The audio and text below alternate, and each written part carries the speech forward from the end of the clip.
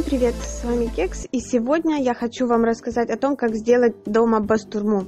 Близятся праздники, и этот рецепт будет очень кстати, потому что очень вкусно, эм, смотрится очень дорого, потому что бастурма в магазинах вы нынче знаете, сколько стоит.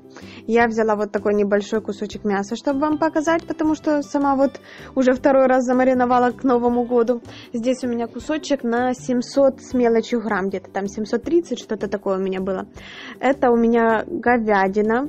Эм, не советую прям брать э, молодую телятину, потому что вы не добьетесь ни вкуса никакого, просто будет у вас кусок травы, так сказать. Вот, поэтому лучше взять именно говядину чтобы оно было такое довольно темненькое. У меня здесь как э, кусочек такой вырезки, прожилки все идут в одну сторону, он красивый, ровненький. Вот, выбирайте такой, как вам нравится. Но мне удобнее было, чтобы он был потоньше, чтобы высох побыстрее, потому что у меня э, будет сохнуть он в холодильнике. Холодильник у меня не no frost, поэтому как бы сохнуть будет чуть-чуть дольше. Вот. Э, ну, в общем, все по порядку. Смотрите, мне нужно этот кусок хорошо засыпать солью и оставить просаливаться. Э, он у нас будет не просто просаливаться, а выделять эм, жидкость из мяса.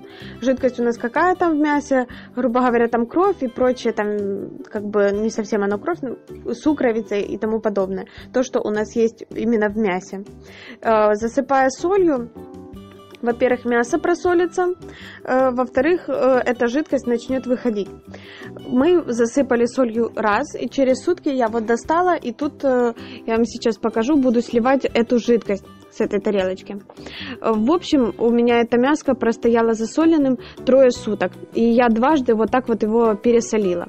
То есть вы видите, вон у меня внизу, сколько в тарелочке осталось еще жидкости. Мяско становится плотнее, тверже. Вот, я сейчас вот просушу немножко полотенцем, чтобы лишнюю влагу убрать. И сейчас засолю свое мяско еще раз. Э, я же еще раз повторюсь, у меня оно просаливалось трое суток. Если у вас будет э, очень толстый кусок, то вам нужно больше времени, чтобы мясо хорошо просолилось. Вот, поэтому чуть-чуть ориентируйтесь по мясу. Так как мы мясо будем потом еще вымачивать в воде, чтобы оно не было сильно соленым, вот, оно у вас не будет пересоленным. И точно так же, как в первый раз, я обильненько посыпаю солью это мясо.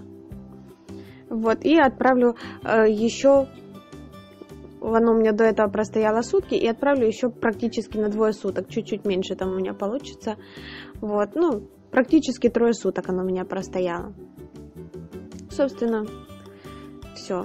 Можно отправлять обратно в холодильник, обратно просаливаться. Э, я подготавливаю специи. Стандартный набор специй это сушеный чеснок, паприка, красный перец, черный перец и нужен еще молотый лавровый листочек. У меня его не оказалось, я буду пытаться поломать э, обычный лавровый листочек, поэтому, поэтому вот так вот. Вот еще у меня жидкость отошла, мяско стало еще поплотнее. Так, теперь мне нужно вымочить наше мясо. Беру водичку обычную, и туда отправляю свой кусочек мяска. Правильно считать, э, сколько дней у вас мясо вымачивалось в соли, столько дней оно должно вымачиваться, ой, столько дней, господи, а, столько часов оно должно вымачиваться у вас в воде. То есть, если оно у меня вымачивалось трое суток в соли, то три часа в воде оно у меня должно постоять. Вот оно постояло у меня три часика в водичке, стало мягче, немножко набралось воды. Вот, в водичку ушло лишняя соль в мясе, которая особенно с краю тут, а внутри мяска же не будет такое соленое, как с краю, поэтому крайняя соль быстрее ушла. Теперь мясо одинаково просолено везде. Теперь я просушиваю бумажным полотенцем свое мяско, чтобы лишнюю влагу убрать хотя бы снаружи. И мне нужно поставить его под пресс немножко придавить.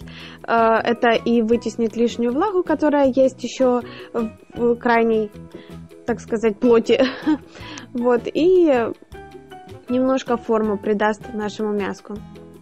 На самом деле ничего там лишнего не поменяется, но под пресс поставить нужно. Под прессом оно у меня простояло буквально, может, с полчасика. Чем тяжелее пресс поставить это мясо, ему ничего не будет. Вот. Постояла под прессом. Вот вы видите, обратно стали влажными мои полотенца. Значит, лишняя влага у меня ушла. Вот. Теперь мне нужно уже будет заняться именно э, маринованием моей бастурмы. Чтобы она у нас была вкусная, э, можно еще добавить разные специи, другие. Можно использовать классические, вот эти. А я еще сюда добавлю немножечко соли, чисто для абразивности, чтобы хорошо растирались мои специи. Здесь буквально щепотка. Вот. И так как я сказала, у меня не было молотого лаврового листа, я попытаюсь поломать мелко-мелко. Если у вас есть кофемолка, не вопрос, измельчите в кофемолке. Вот лаврушечку. Она придаст особый привкус нашему мясу. Вот, на второй раз я уже сейчас э, замариновала второй раз к Новому году свою бастурму, поэтому на второй раз я уже приобрела молотые лаврушку и добавила ее так. Здесь у меня универсальные специи, муж покупал где-то в командировке. Я просто щепотку добавлю. И это у меня базилик красный, тоже добавлю щепотку. Абсолютно этого можно не делать. На самом деле я просто решила добавить немножечко других специй. Совершенно э, не имеет значения, какие специи у вас будут. Здесь самое важное именно вот эти четыре специи, которые играют роль. Это паприка, сушеный чеснок, черный перец, красный перец, вот, ну, и лаврушка пятая, ее желательно, но можно и даже без нее сделать, в принципе. Теперь, чтобы мяско у нас хорошо покрылось, нужно добавить водички в наши специи и сделать такую кашеобразную текстуру, чтобы, так сказать, намазать это все добро на мяско. Нам нужно, чтобы получилась консистенция э, густой сметаны. Ну, в общем, смотрите, я потихонечку добавляю водичку, перемешиваю, чтобы лишнее не переборщить, потому что будет плыть. И намазываться не будет, и потом э, все впитается у нас, потому что мы в конце будем заматывать в марлечку наше мяско, и оно у нас все впитается в марлю, если мы сделаем сильно жидко. Вот, вы видите, оно намазывается, такое растирается хорошо держит форму, как бы очень будет удобно с ним работать, вы дальше увидите у меня этот кусочек бастурмы ушел э, за два дня, наверное. Мы его только... Я успела его разрезать в середине, чтобы сфотографировать, показать, какой он получится. И у меня э, первый же вечер раз полкусочка ушло, и на следующий вечер муж съел остальные полкусочка. То есть, на самом деле, вышло очень вкусно, ему очень понравилось. Особенно оценят мужчины, кому к пиву. Тоненько отрезайте вот, и такими прям прозрачными, как бумага, ломтиками режется очень, э, очень тонко за счет того, что она у вас будет э, сухая. Ну, как бы не совершенно сухая, она будет приблизительно как э, э, СК колбаса. То есть, ну, такая твердая довольно. Вы видите, э, мои специи очень хорошенько намазываются равномерно на весь кусочек. Вот полностью равномерно покрыли мой кусочек. Я выложила сразу половину специй, половину выложу на вторую сторону. Теперь мне понадобится марлечка. Я купила трес марли, э, в нем удобнее будет сушить. Можно сушить вообще вот так в открытую, но тогда немножко пересыхает э, корочка и внутри не досыхает, я бы так сказала. А с марлечкой не пересыхает так корочка и более равномерно просыхает пастурма. Вот. И остальные специи выкладываю уже сюда. Теперь останется только завернуть марлечку, э, продеть э, через мясо нитку и подвесить в холодильнике. Э, у меня в холодильнике одна из полочек как решеткой, поэтому очень удобно было на нее подвесить.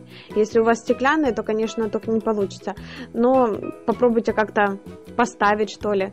Вот. Если у вас есть к чему подвесить в холодильнике, подвешивайте и оставляйте в покое минимум, если у вас кусочек такой, как у меня, минимум недельки на полторы. Вот, и если у вас холодильник no frost, еще раз повторюсь, то у вас высохнет быстрее.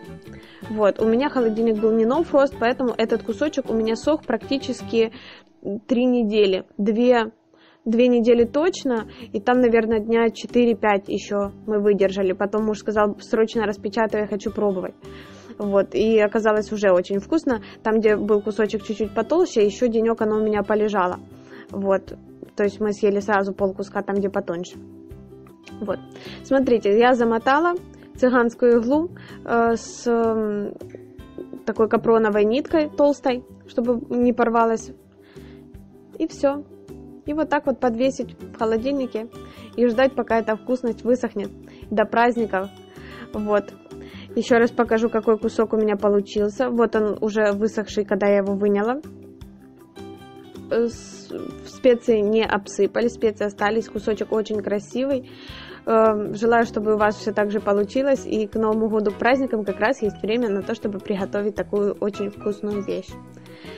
Так что пробуйте, дерзайте. А с вами был Кекс. До новых встреч. Пока-пока.